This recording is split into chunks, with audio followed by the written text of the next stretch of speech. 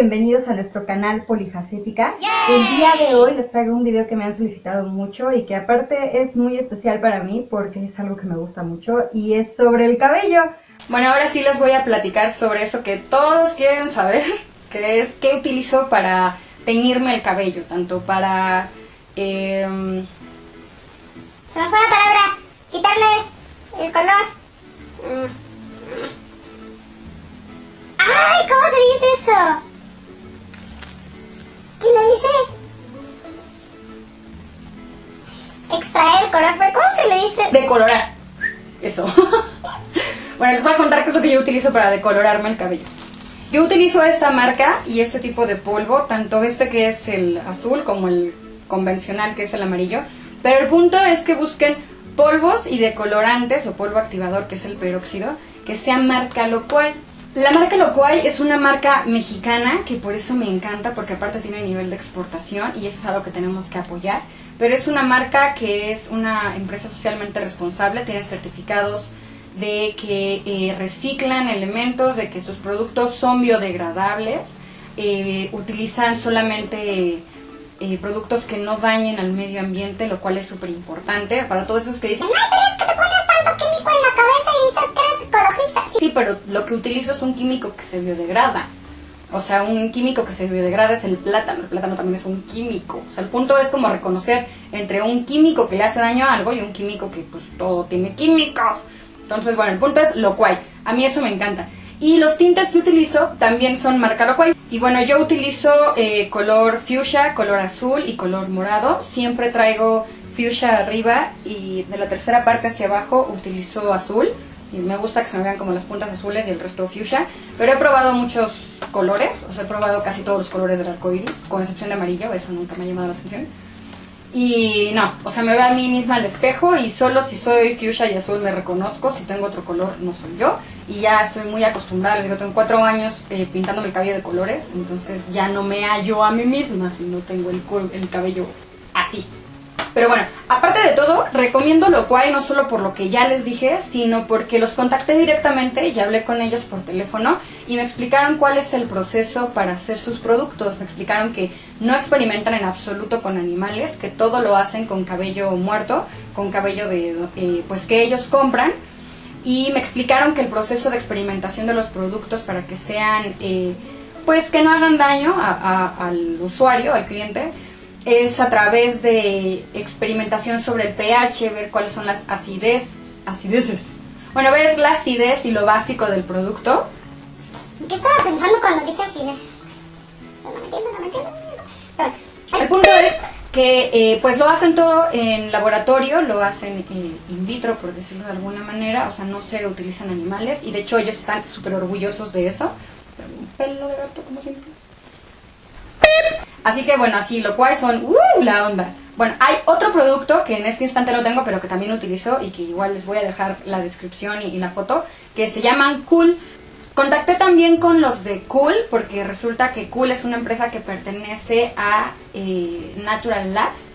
Y resulta que ellos hacen eh, puros empaques que son 100% biodegradables, no experimentan en animales, utilizan productos vegetales enteramente, entonces pues todo eso está súper chido.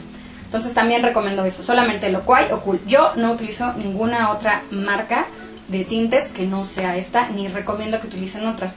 Hay otras que sí son veganas, por ejemplo la Manic Panic, o creo que también Hay una chica que no me acuerdo cómo se llama. Por aquí les... Ah, Katy Bondi, ya me acordé. Katy Bondi. Ella también tiene una línea de maquillaje y de tintes para el cabello que son veganos. Pero yo no recomiendo estos, ¿por qué? Porque pues son productos importados y son carísimos. O sea, una cajita de estas trae dos tintes, que yo con eso me pinto el cabello pues cuatro veces o más.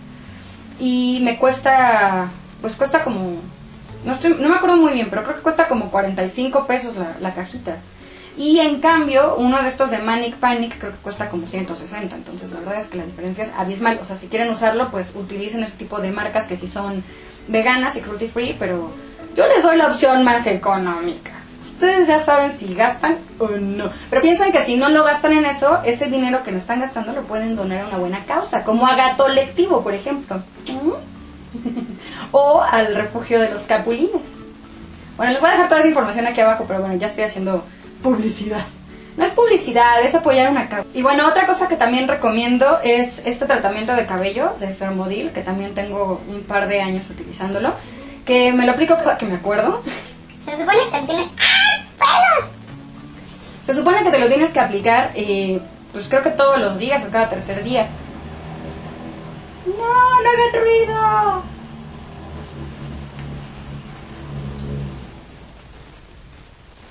Pero bueno, yo me lo pongo cada que me acuerdo, entonces a veces me lo pongo cada tercer día o a veces me lo pongo cada 15 días. Pero fíjense, o sea, también eso es que como tengo el cabello en buen estado, por tantos aceites que le aplico, pues en realidad se- no me hace falta el tratamiento. O sea, se me olvida que tengo que usarlo porque mi cabello no está maltratado. Ay, cállense, por favor. Ah, lo de los aceites los utilizo más o menos cuatro veces a la semana. Y bueno, contacté con Genoma Lab, que son los que hacen Fermodil, y también eh, obtuve la respuesta de que ellos no experimentan con animales. Entonces, pues bueno, igualmente recomiendo muchísimo ese producto. Y bueno, los últimos productos que les voy a recomendar son cosas que sí utilizo o que no he utilizado, pero que me han regalado y he conservado y que las recomiendo porque no están testeadas en animales y porque no tienen eh, ningún ingrediente de origen animal, pero los estoy poniendo al final porque hay cosas que no me gustan y que les voy a comentar ahorita. Por un lado tengo este producto aquí que se llama que es un shampoo en seco, es un spray para el cabello. Este sí tiene aquí atrás en algún lugar el letrerito de que no está probado en animales. Sin embargo, la razón por la que no lo recomiendo tanto, es bueno para quitarte la grasita del cabello y tal, lo ocupo, les digo, un par de veces por semana, pero no es tan bueno con el medio ambiente. ¿Por qué? Porque pues sí tiene butano y tiene propano. Y entonces esto al final pues son ingredientes eh, gaseosos que terminan en la, en la atmósfera y que pues generan o contribuyen al calentamiento global. Entonces, pues bueno, esto no está tan cool, ¿no? No es tan bueno con el medio ambiente. Ningún spray, ningún desodorante en spray, ningún producto que venga, ni el aceite en spray, nada que venga en spray porque todo eso trae butano. Entonces, bueno, eso es algo a considerar. Así que bueno, yo, yo también estoy consciente de esto y hay que pues tener como muy presentes nuestras contradicciones de las cosas que hacemos para tratar de ayudar al medio ambiente y las cosas en las que pues la regamos de alguna manera. Pero bueno, al final la regamos con toda la basura, la regamos con existir, así que bueno, vamos a tratar de verle lo positivo y no tanto lo negativo. El otro producto que tengo es este shampoo de Yves Rocher, que de hecho ni siquiera lo he abierto, me lo regalaron hace muchísimo, no lo he utilizado, pero es un shampoo para el cabello teñido, no tiene productos animales y tampoco se, pues, se experimentó en animales para hacer este producto. Sin embargo, sí es importante saber que Yves Rocher es una marca que a pesar de que no experimenta con animales, sí es una de estas marcas que tienen este problema, que pues exportan productos a China y todo lo que se exporta a China de cosmética, bueno no todo, pero casi todo, eh, se le hacen eh, pruebas en animales. Y entonces pues hay como un debate muy fuerte sobre si está bien o no consumir marcas que aunque no hacen experimentación con animales y no utilizan productos animales, eh, de todos modos están contribuyendo a este tipo de políticas gubernamentales de hacer experimentación en animales en ciertos lugares donde pues lo que podrían hacer es decir nosotros tenemos una postura y decidimos no vender a China, por ejemplo. Entonces, bueno, con Rocher pues no tengo, yo ni siquiera lo he usado, ¿no? Pero si lo tengo, me lo regalaron, eh, yo sé que no experimentan en animales. Y lo que sí es que con estos productos hay que tener cuidado porque no es como que sea una marca vegana, o sea, tienen productos que sí tienen miel o alguna otra cosa animal. Este no tiene nada, por eso es que lo estoy sugiriendo. Y el último producto y lo último que quiero añadir a todo este show son los productos de L'Oreal. Este, pues como yo les digo, yo casi no uso shampoo, ¿no? Pero este es el shampoo que llego a utilizar más o menos cada 15 días porque les digo que me lavo el cabello eh, una vez a la semana, pero una de esas veces es con puro acondicionador y otra de esas veces sí utilizo el shampoo. Y bueno, este es el que yo utilizo porque pues se supone que es para cuidar el color. Y eh, utilizo estos shampoos que son para cuidar el color porque cuando te pintas el cabello tienes que cuidar que los shampoos que utilizas no tengan sulfitos ni sulfatos. Que estos son una especie de sales que se le agregan a, pues a las cosas, al champú, a los jabones, etcétera, para que tengan espuma. Y entonces, pues sí hacen muy bonita la espuma y lo que quieras, pero te tiran todo el color. Aparte de que ya habíamos dicho que espuma no es igual a limpio, sino que es un producto añadido a otros eh, productos para que parezca que tengas la sensación de que todo está muy limpio y bla, bla, bla. Pero bueno, eso está más en el imaginario de la publicidad y en tu cerebro que en la realidad no necesitas espuma para estar limpio. Pero bueno, el punto es que yo solo utilizo shampoos que no tengan sulfitos. Por eso es que este lo compré también hace mucho. Pero yo creo que, o sea, en verdad les juro, yo creo que tengo dos años con este shampoo y me ha durado pues eso. Ah. Entonces, eh, pero la cosa con L'Oreal es que igualmente L'Oreal no experimenta con animales, no utiliza productos animales en este producto, aunque puede ser que en otros sí, que tengan miel o lanolina o alguna otra cosa. Pero, pues vende a China. Y entonces nuevamente todo lo que se vende a China... ¿Me van a dejar hacer el video?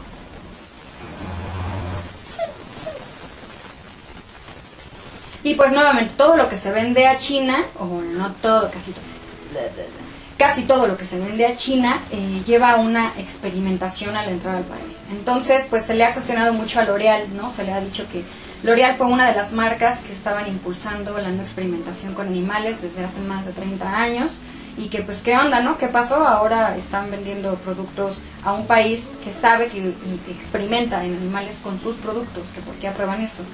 Y L'Oreal ha dicho que bueno, ellos siguen vendiendo porque es una forma de tener una incidencia sobre las políticas en el país, que de hecho ellos sí tienen un pues han hecho escritos al respecto, han, presentado su, su postura, eh, pues explicando que ellos consideran que eh, al mantener sus productos dentro del país han generado cambios, que no todos los productos ya se, eh, se testean en animales y pues bueno, esa es como su opinión.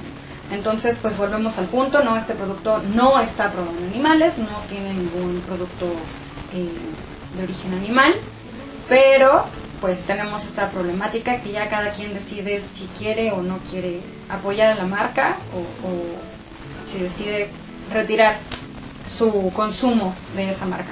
Entonces, pues bueno, yo eso es lo que recomiendo. Yo lo que recomiendo en realidad son los primeros productos que les dije. Utilicen lo más natural posible. Si no pueden usar un producto súper, súper natural porque tienen el cabello pintado de colores, pues entonces utilicen... Eh, ya lo dejé, pero bueno, utilicen eh, shampoos que están hechos naturalmente, que son locales, utilicen también acondicionadores y aceites que sean naturales, locales. Eso es lo que yo siempre, siempre les voy a recomendar, ya sea comida, o sea shampoo, o sea humectante, o sea trapeador o lavatrastes, utilicen lo más natural y casero posible. Y si no, vean la alternativa de comprar a un productor local y que sean productos naturales. Que ustedes vean los ingredientes, los lean y digan, no, sí, esto sí sé qué es. Si no, pues no. Ya por último les quería eh, platicar un poquito de otras marcas que no experimentan con animales, que yo no utilizo, porque pues yo no utilizo más que las cosas que ya les he comentado, pero que sí tengo la, hice la investigación de algunas otras marcas, y entre esas está Revlon, Alba Botánica, Avalon Natural, Cote Hair Care eh, y The Body Shop. Y por otro lado, también les quería decir eh, las cosas de las que tienen que tener mucho cuidado que no estén entre los ingredientes, porque a veces no sabemos ni siquiera qué cosa es animal. O sea, los productos casi nunca dicen que son veganos, entonces uno tiene que leer atrás. Entonces yo les voy a dejar eh, la página de PETA Latino, que en esa página encuentran toda la lista de sustancias y encuentran también toda la lista de marcas que sí están aprobadas. Probablemente no van a aparecer ahí algunos de los productos que yo les he dicho, pero consideren que PETA pues no tiene entre sus eh, en su lista a muchas marcas que son pequeñas. Y bueno, eso es todo por el video de hoy. Espero que les haya gustado. y yo me despido de ustedes. Y bueno, eso, si les gustó el video, denle manita arriba, coméntenme eh, sus impresiones, si es que tienen alguna duda. suscríbanse si no lo han hecho, yo subo video cada viernes. Y ya, eso es todo. Chao.